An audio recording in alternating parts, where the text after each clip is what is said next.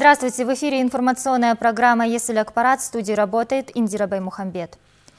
Немного об истории. 1991 год, 2 декабря. 14 дней до провозглашения независимости Казахстана. Государство, стремящееся к самостоятельности 30 лет назад, впервые в истории провело всенародные президентские выборы. В связи с этим в Алматинском доме дружбы состоялась пресс-конференция, посвященная предварительным итогам выборов. Впервые в истории Казахстана состоялись всенародные выборы президента. По предварительным данным, Центр избиркома победу одержал единственный кандидат Нурсултан Назарбаев. Николаев. По предварительным данным, 88,2% избирателей приняли участие в выборах. За Нурсултана Назарбаева проголосовало 98,8% граждан.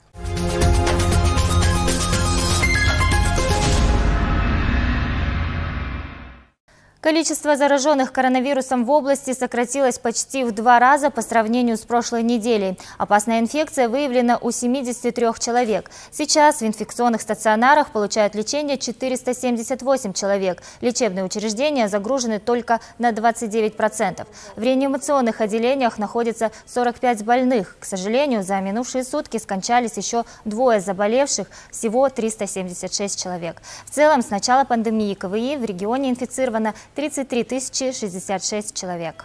В Северном Казахстане новый председатель областного суда. В соответствии с указом президента страны им стал 60-летний Ербол Жангазин. До этого он занимал должность председателя судебной коллегии в городе Шимкент. Какие задачи стоят перед новым руководителем, расскажет Илья Кудряков.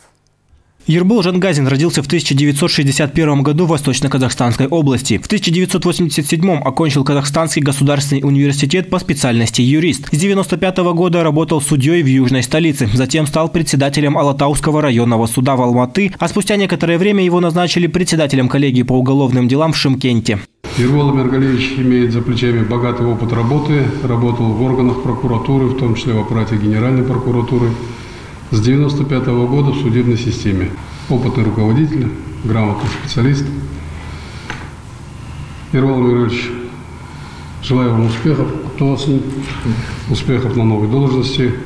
Судебная система должна быть прозрачной, честной и непоколебимой. За годы работы Ербол Жангазин набрался немалого опыта в этой отрасли. Поставленные перед собой задачи отлично понимает. После реформ в судебной системе показатель выигранных дел простыми гражданами у государства довели до 70%. Это говорит о правильно выбранном векторе развития. Юристы должны быть всегда с холодным рассудком, да? Юрист, особенно судьи, руководители всех э работники всех правоохранительных органов, они должны руководствоваться только законом. Но это не означает, что юристы не должны иметь сердец. Правильно же, да? Поэтому я э, желаю всем э, находить баланс, находить баланс, потому что все-таки от работы правоохранительных органов вот от судебной системы, прежде всего, конечно, зависит судьбы, судьбы многих-многих людей. Продолжать грамотно развивать и упростить судебную систему, минимизировать количество ошибок. Такие задачи стоят перед всеми судьями. Только при правильном подходе к делу возможно добиться изменений в положительную сторону. Ну, я э, хотел сказать, что я буду делать все, э, что могу, насколько хорошо, насколько я могу. И я уверен, что итог будет положительным. В этот день на новую должность отправили экс-председателя областного суда Ерлана Айджанова. На данном посту он проработал целых два срока. Теперь же он будет работать судьей в Алматинском городском суде. Илья Кудряков, Анатолий Белонок, служба новостей. Это была последняя информация выпуска. Далее вас ждет прогноз погоды. До встречи в эфире.